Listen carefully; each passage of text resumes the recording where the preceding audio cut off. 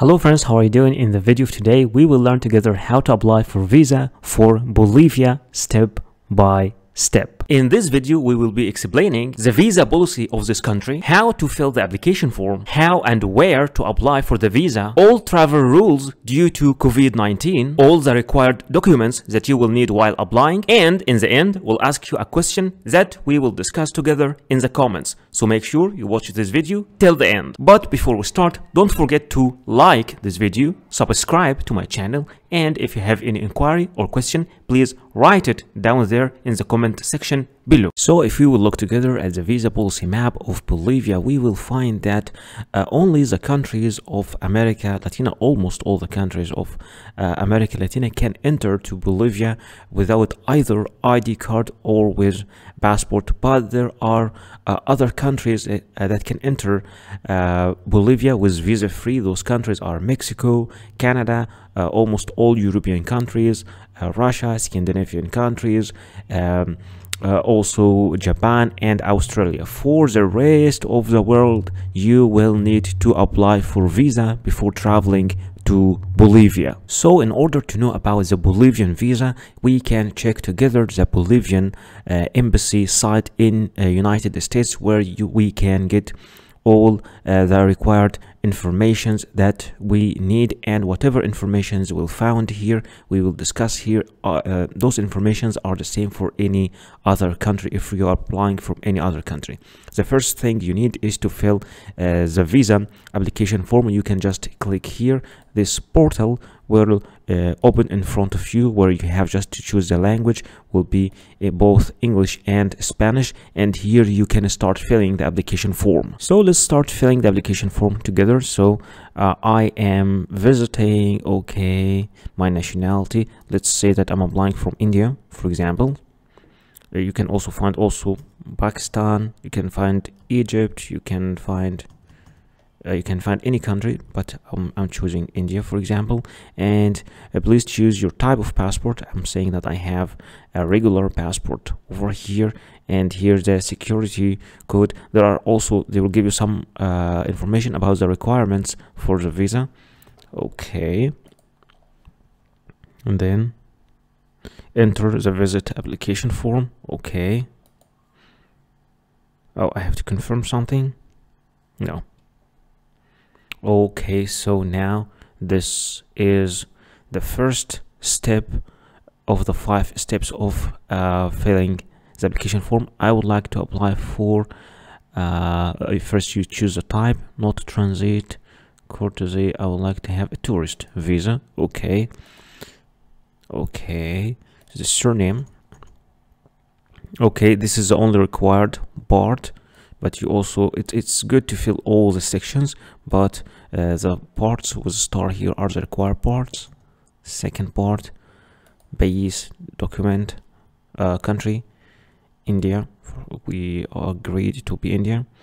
So state okay the name of your state okay. Fetch uh, your date of birth starting with the day month then year. You one for example okay a number of identification your identification number. Okay present occupation.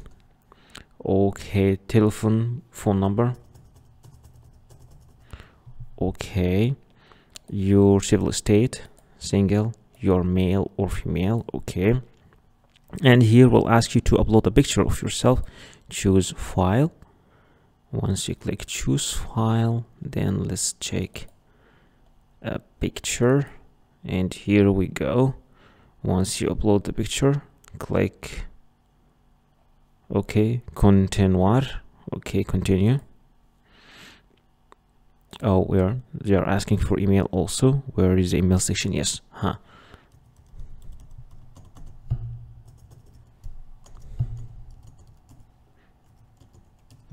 okay then continue. And here give the passport number the country. We agreed it will be India but as we said apply from any place city. Okay fetch uh, issuing date. Okay day month. 010 010 200 ah. No it's something wrong. 02 02 2020 okay. Fetch uh, expiry date. It will be that day. Okay. 02 02 2029 for example. And then continue. Continue. Okay. Have you applied before for a visa? I will say no. And uh, date? Okay um how long in days you want to stay in bolivia? Choose the days. Okay i would like to stay for 30 days. Okay what is your main uh, destination in uh, uh, in bolivia? Okay choose the city for example. Okay uh, do you have relatives in bolivia? I'll say no. And then click continue. Okay um, first person to contact in case of emergency give an emergency number uh, your parents for example or your spouse in case exist okay and the country say india okay and the second person you don't have to give a second person uh, and also there is what? Ok debe ingresar el lugar de la solicitud de la vista. You will have to give the place. Where are you applying for the visa? Let's say india in on india new delhi. And then click continue. And okay there are some files that it is very good to attach like your itinerary for example. Attach an itinerary. Choose file. For example this one. Upload file. Okay and a passport. Also upload your passport. Right. Choose file. Okay. Upload file.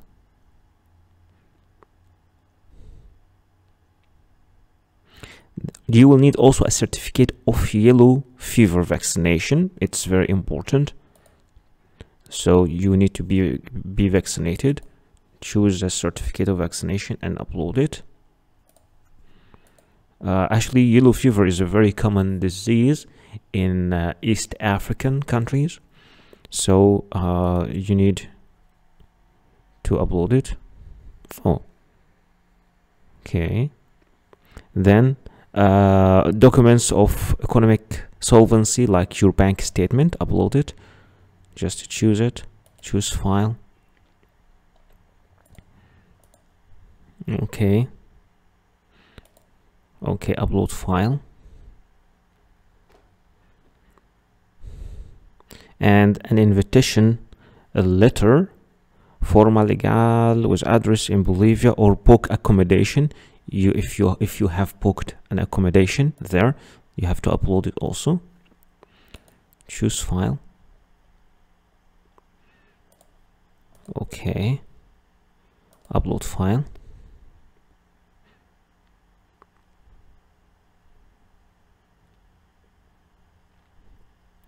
the all right so those are the main things that you need to apply. Then uh, they are telling you to upload your uh, formulario de, de solicitud but this is the application form. I mean yeah, they're asking you to apply to upload an application form and you're already making the application form so there is no need. Finalize okay. I'm confirming. Okay so this is my uh, code request you will have to keep this code because it will be used in the embassy to know that you have applied and then you will have to display your visa application form. Okay once you click here it will be downloaded over here and here is your visa application form completely filled So right now, if you are concerned about the visa application fees, in general, in most cases, the visa, there are no visa application fees. But for China, it is $30. For example, for India, $0. For Pakistan, it is $30. For Egypt, $0. For South Africa, uh, 0 uh, dollars. So you can check the visa application fees from this site. So after filling this application form you will have to take it along with all uh, the required documents that we will be discussing in the end uh, of this video and to go to uh, the Bolivian embassy in your country. You just need to contact them by phone in case you need to book an appointment or something but in general you can just appear there and there you will have to submit your uh, paper along with all the required documents. So of course due to COVID-19 there are some uh, travel rules to Bolivia that uh, for example you must show a vaccination uh, certificate dated at least 14 days before arrival in Bolivia and of course all travelers will need to show a negative BCR test taken at least uh, 48 hours before uh, traveling to Bolivia. So what are the travel documents that you need to prepare before applying for the visa? Speaking about your passport, your passport must be original and it must not be older than 10 years with at least 6 months of remaining validity and with at least 2 blank visa pages for the stamps. In many cases you will need also a passport photocopy. It might be one copy or more than one and it's preferred to be colored and both data page and photo page must be shown if separated. In some cases you might be required to photocopy every single single page of your passport. But in general, only the data page and the photo page are the needed ones. Speaking about the personal pictures, you will need at least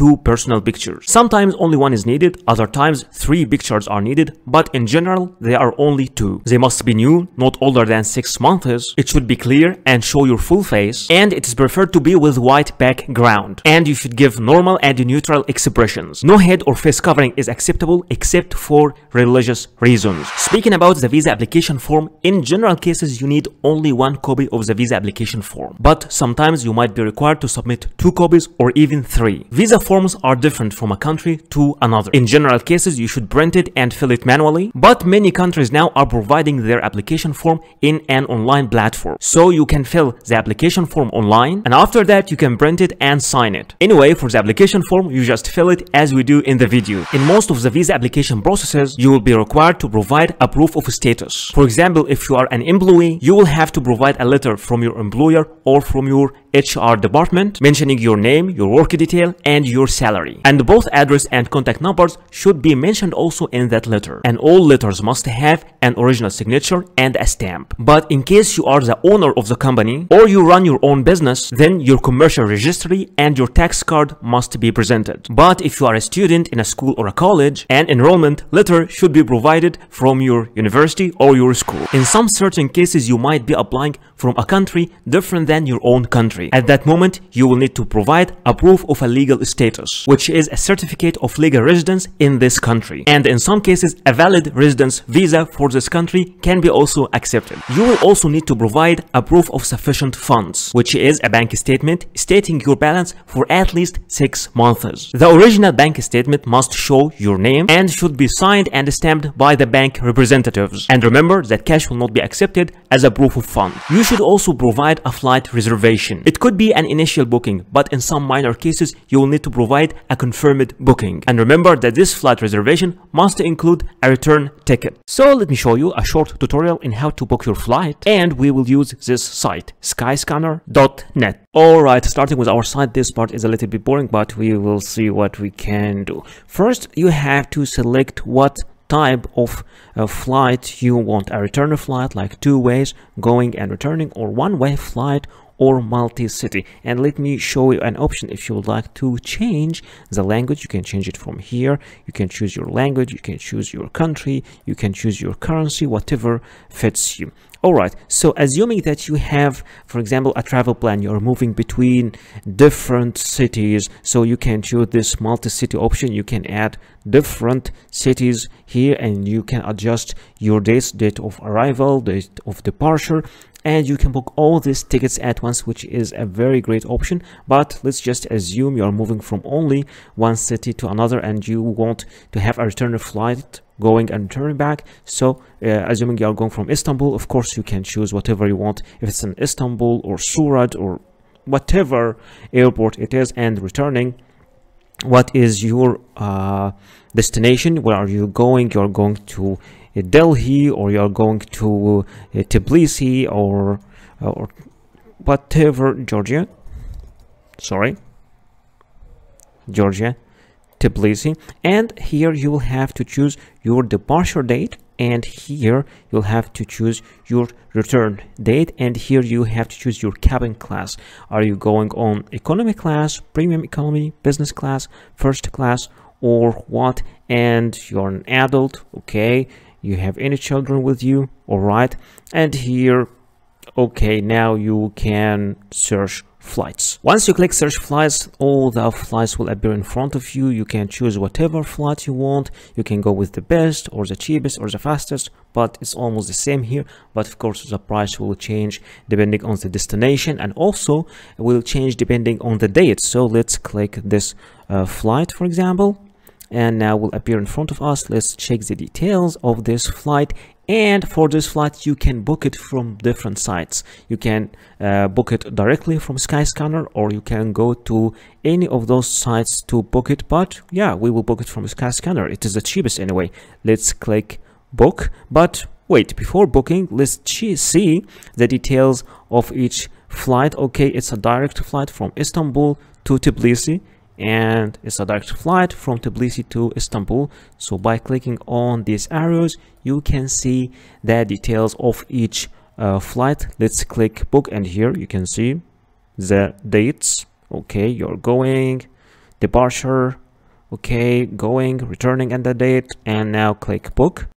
So once you click booking your trip appears in front of you and the total price appears in euros. Why? Because they set their prices here in euro in sky scanner. So now you can see the details. Okay you have one cabin page you have one checked page now let's click next and see more about the details and the checkout. So in the end, what you need to do is to add a contact details, which is an email and a phone number. And after that, you will have to add a traveler, which is your name, your middle name, your last name. And in the end, you will have to click pay. And by clicking pay, you can do your payment and congratulations, you booked your flight. You will also need to provide a proof of accommodation. It could be a confirmed hotel reservation or an invitation from a host in this country or an invitation from an organization you are visiting in this country. For a hotel or hostel, an initial booking is acceptable, but in some minor cases, you might need to provide a confirmed booking. And anyway, the name of your hotel must be mentioned and the address and the contact number. But in case you are invited by a person, either the letter of invitation should be mailed directly to the embassy or to be submitted by you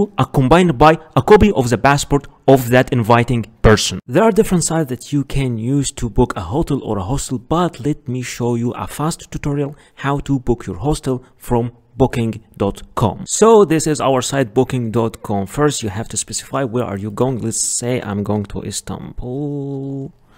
I want to have istanbul. Okay i'm traveling okay for example check in. Okay let's say at that date and check out. Let's say at that date and i want one adult one room and let's click search. All right by clicking search okay there are giving me all the locations and they are giving me the price here in egyptian pound let's assume i would like to change my currency. I will change my currency from here. I will choose usd dollars. And now the prices are here. Usd dollars for the full Those things in this site will help you for your choice. You can filter by your budget or your popular filter or health and safety, whatever interests you more, star rating, whatever it is. But there is an interesting option here also that you can arrange all of these things depending on price if you are uh, a low budget traveling person. So we can rearrange it according to price lowest first and let's see the price lowest first for the full period. And you can see that we are having very good prices in somehow okay good quality. Also we can see also we can check for better quality. Okay still good price for very good quality let's check availability. Okay i like that one. It looks old and only five beds left at this price. So you are booking a bed in dormitory and one bunk bed. See availability. Once you click see availability the whole apartment or the whole place appears in front of you. You can see all the details of this place and you can here start choosing the availability like you can like change the dates. And the most popular facilities here that non-smoking rooms free wi-fi 24 hours front desk terrace and heating also because sometimes istanbul gets very cold. They are also giving you here some selections like for example bed in male dormitory room and you can see all the details here like okay air conditioning free wi-fi shower toilet Uh, heating hair dryer and of course if you want any other option like comfort double or twin room or classic double or twin room or standard treble room whatever you want but let's just go for the cheapest and select only one bed. You can select of course more than one bed and they give you different things like free cancellations and no prepayment needed. You can pay directly at that property so if you in case you would like to cancel it they are giving you a specific time and a specific date. In that date till that date you are free to you can cancel this booking for free. Just click i will reserve. Once you click i will reserve here you are filling your details. They are giving all the booking details. It is for four nights and this uh, price is 35 dollars and here you will have to enter your details all your details and bed in male dormitory room okay? You'll have to give your full name and if you have any special request or something and also here give your arrival time so you have just to review all these parts and in the end you will click final details. By clicking final details you will review again all your details and you will confirm your booking. Once your booking is confirmed you will receive an email in your email like that stating the check-in details as the checkout detail and the duration of the stay the phone number and the address of the place and all the details. And this is the page that you will have to print and take with you to the embassy while applying for the visa. Many countries also, especially the Schengen area countries, require you to provide a traveling insurance. And you have to be careful and to apply through the companies that are accepted officially in these countries. For example, in case for Schengen area countries, there are some certain specifications for this travel insurance, like the insurance coverage must be at least 30,000 euros. And in general cases, you can apply for this insurance online. Now let's look together as a travel insurance companies. Those are some travel insurance companies. You can use any of those websites to apply for the travel insurance. But since I know that travel insurance is a little bit confusing for most of people, I selected two companies and we will see together how to apply for travel insurance through those two companies. Applying for travel insurance is quite confusing for many people but here I selected the site europeinsurance.eu and let's see how to apply for travel insurance. First you have to select your main destination in Europe which is I selected France. The start date the end date let's say you're just staying for one month and you want this insurance for one month and here you write your date of birth then get a quota Okay, so now there are two types of travel insurance. The first one is basic and it costs 19, uh, the 19 euros per month and it covers more than 60,000 euros, which is required because for travel insurance you have to apply for something more than or equals to 30,000 euros. So I will select this one and here if you want to extend but just let's keep it like that for this basic one. I will select it over here and now I will have to fill my details my the insured person my name and the policy holder also if it is the same person though the same also details my own details and important statements just some statements and in the end you will get to the payment. So this travel insurance uh, which will cover more than 60,000 euros for one month it's just only 19 euros. Let's check another site which is axaschengen.com which is quite expensive uh, site and here they give you different periods like for Schengen low uh, cost Schengen Europe travel Schengen multi-trip get a code okay so for the prices here okay let's first need to click get a quota over here for the cheapest one okay. And here they will ask you the Schengen low cost um, they will ask you about the start date and the end date of your travel. So my first date is this one all right 12 and my last date let's say will be 11th of April. Also for one month and this one for 31 days. And it's a little bit it's not a little bit expensive. It is expensive and it covers uh, only up to 30,000 euros but you know the difference is sometimes about um, the rate of the company and uh, also uh, the categories they are uh, covering in the travel insurance. But here I'm just showing you how to uh, choose how how to apply because this is because choosing the category as the options is something depending on you. But many people are just having some problems. What is the travel insurance? How to apply through the travel insurance? So all these other details i will leave to you. I'm just showing you how to apply through the site. And what is the real cost uh, of the travel insurance by saying 30,000 euros we don't mean that you should have this balance in your bank or to prove that you have it because some people think uh, so. Those who are not really having experience with travel insurance then here you click continue and after you click continue you click here for the subscriptions. You will have to fill all your details and after filling your details you will um, make your payment and in the end you will get a confirmation of your travel insurance. And that's how you apply for travel insurance through this website